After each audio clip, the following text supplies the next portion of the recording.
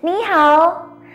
东西 literally means east and west, but when they come together, they get the meaning of stuff, as in 这是我的东西. This is my stuff. We can also use it as the word thing to refer to any kind of thing, even animals. For example, you can point it at the pet dog and say, 这小东西好可爱. This little thing is so cute. However, if it's used for a person, it's really a bad expression, which is often used to insult or upset people, meaning that person is not a good person. So if you say 你不是东西, you're not a good person, it's really offensive.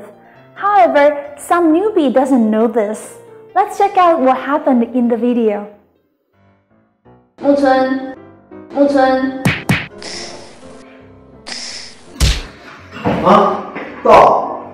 木村，你用东西造个句子。